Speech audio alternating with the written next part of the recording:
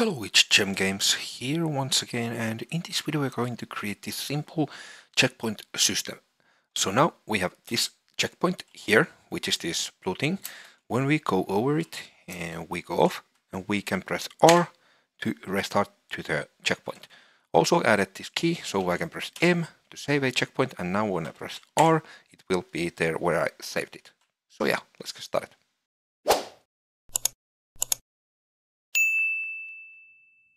First, we want to go to the third person folder and to the blueprints. And then we want to open the BP third person game mode.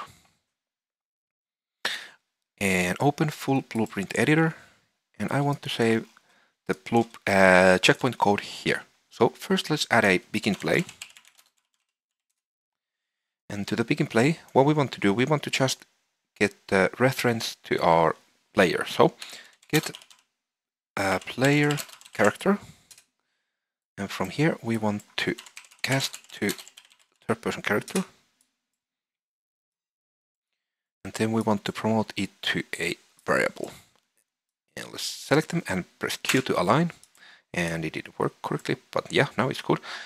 And I like to rename this to player ref. Okay, now let's create another cust custom event under here. Let's call this set checkpoint and we want to add a input. This input will be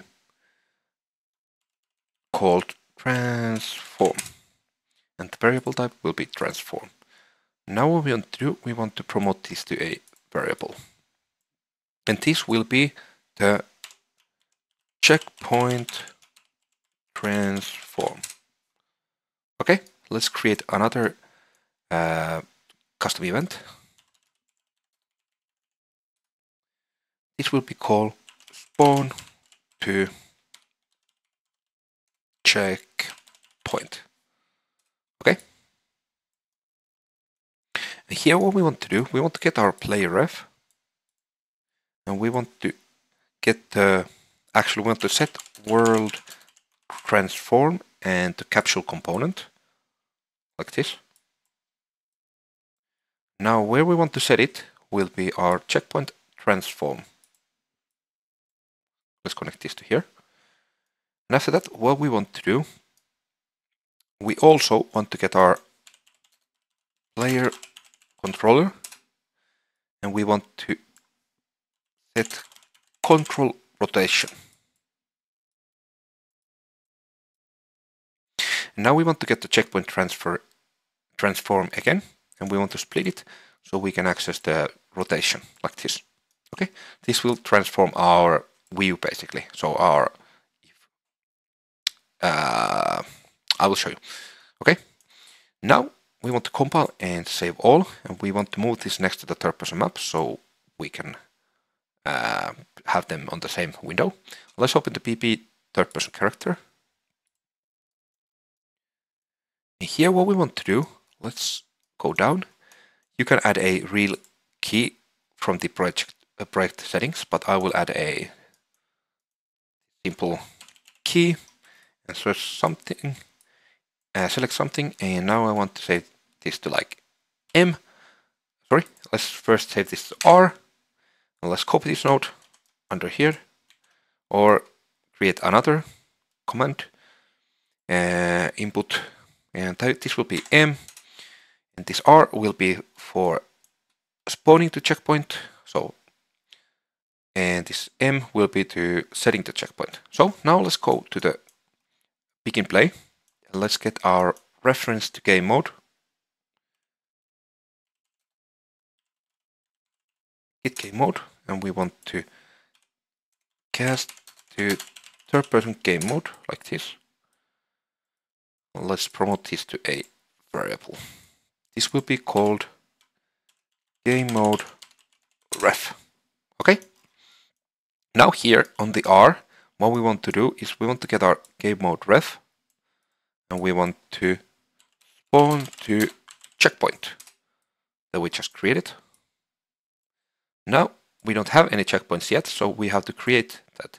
So on the M, we want to get the game mode ref, of course, and we want to set checkpoint.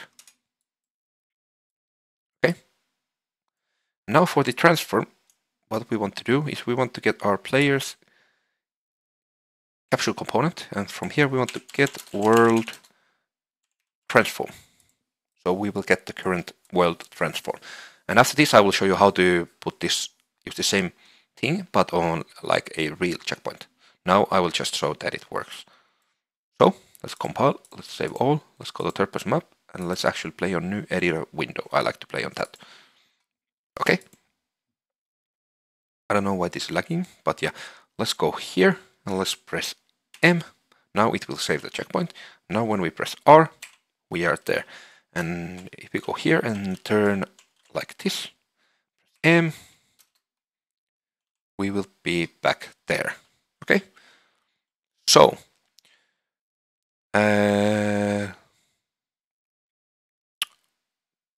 uh, now I will show you how, why we have to set the control rotation also. So if we don't set the control rotation here, I will cut this. I will show you what happens. So if I'm like this, and now I'm running here and press R, you can see my wheel is rotated incorrectly. So that's the reason why we want to control rotation also. Now let's create the checkpoint.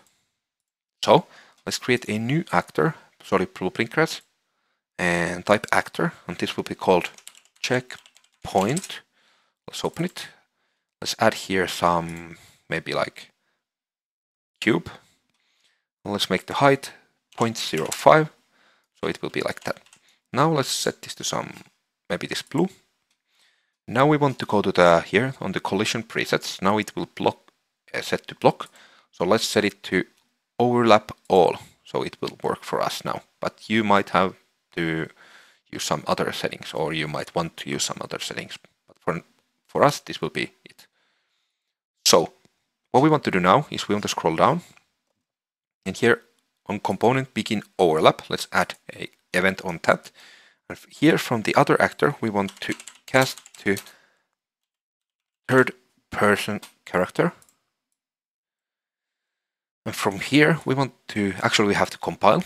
Then we can get game mode ref. And from the game mode ref, we want to set checkpoint. Okay. And also we want to get our get world transform from here, capsule component. You uh, also can get this actor's uh, location, but then you will have to change one thing, but this is the easiest way. Now you're getting your player's current uh, location or transform when you're overlapping with this checkpoint. But also, if you want, you can get the default scene root from here and you can get world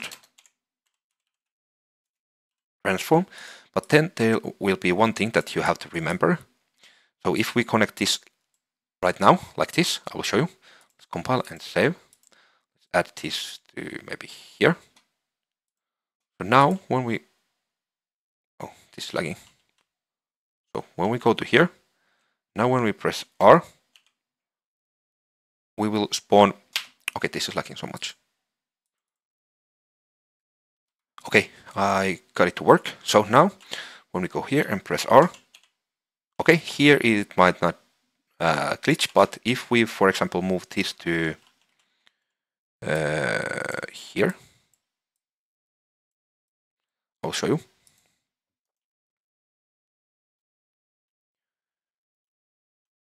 Then we restart. Okay, you might see that it's trying to spawn our character basically uh, here uh, in, inside of this thing because the, uh, the root is here where you can see this uh, ball thing. Okay, and our player's root is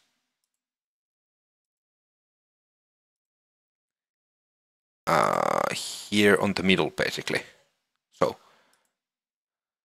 that's the reason. So what you want to do to fix that, you want to add to this value And actually we have to split this first. Sorry, I didn't remember that.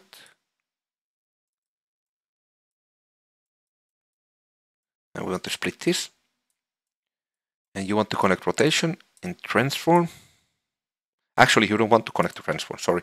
Only the rotation. Then you want to add to the location and connect the location. And what you want to add to the location will be the amount that you have here on the mesh on the set value, minus 89. So you want to add that 89 there. So now it will spawn it correctly. Now it will spawn it exactly where it's supposed to be. So yeah, I actually think that was all for this video. If you like what you saw, please click the like button and subscribe for more. And yeah, hope you have a great day and see you on the next one.